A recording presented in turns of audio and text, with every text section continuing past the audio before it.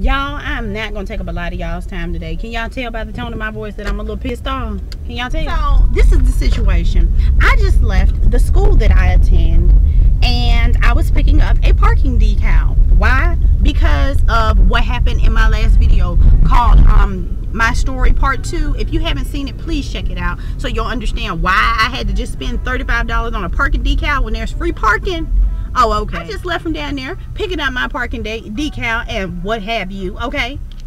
And the rudest, most ignorant, I don't want to be working this job because I got better things to do with my life person was working in the decal office. And I know that you and I have not had this conversation. If you don't like your job, find you another job, okay? Get you something else to do. If you don't like just sitting in the office with air conditioning, taking people's payments, and processing stuff, I'm gonna need you to go outside and find you a construction job. That's what I'm gonna need you to do. If you don't like your job, then who supposed to like you? Are we supposed to like you?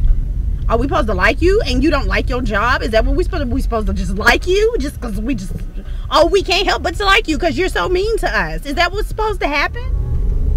I'm about to put the whoopee fingers on her. I really am. And then okay, and then okay, I don't even want to talk about I don't, you know what? I'm not even gonna go there. Why? Because it's not edifying. It's not edifying. But my thing is, is that if you don't like your job, will you please find something else to do instead of disturbing other people's day? Now, some of y'all might not care, and some of y'all might think I'm just crazy as hell. But what I'm saying is, is if you don't like your job that's paying your bills, I'm gonna need you to find something else to do.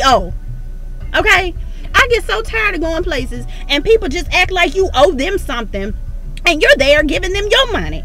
And nothing burns me up more than going to a restaurant. Oh, we talking about food, and you gonna act stank? Oh, you gonna act stank? Oh, mm-mm. I don't do all that. I can't. I can't. I can't, y'all. I can't. I'm just. I'm just so tired of people. If you don't like your job, find you something else to do. If you would prefer not to work with the public, please don't work with the public. Okay?